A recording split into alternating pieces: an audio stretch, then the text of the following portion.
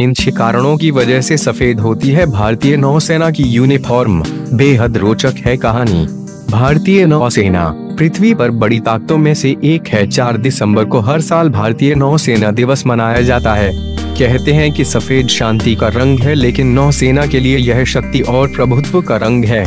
नौसैनिक वर्दी भीड़ से अलग और खूबसूरत है। साथ ही, भारतीय नौसेना के पुरुषों और महिलाओं के लिए सफ़ेद वर्दी गर्व है। वर्दी पर सुनहरे रंग की धारियाँ होती हैं जो नौसेना के सफ़ेद रंग के साथ चमकती हैं। नौसेना की रॉयल वर्दी का विकास 1748 में हुआ जब अधिकारियों के लिए पहला समान नियम जारी किया गया था रॉयल नेवी की वर्दी का प्रमुख रंग नेवी ब्लू और सफ़ेद है नौसेना में सफ़ेद वर्दी का उपयोग करने के पीछे कई कारण हैं।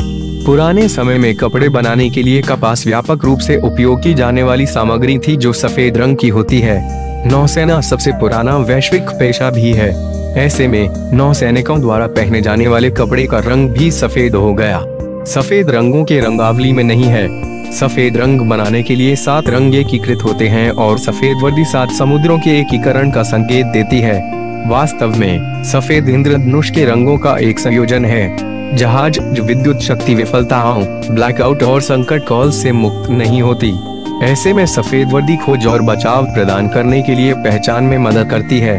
अंधेरे में, सफ़ेद वर्दी को आसानी से पहचाना जा सकता है और प्रकाश में, इसे समुद्र के नीले रंग की पृष्ठभूमि में दूर से देखा जा सकता है। सफ़ेद रंग उष्मा का एक बड़ा रिफ्लेक्टर है और इस तरह सूर्य के प्रकोप को दूर रखता है। आमतौर पर, गहरे रंग के कपड़े अधिक गर्मी को अवशोषित करते हैं, चूँकि नौसैनिक गर्मी में सफ़र करते हैं और सफ़ेद वर्दी से ठंडक बनी रहती है।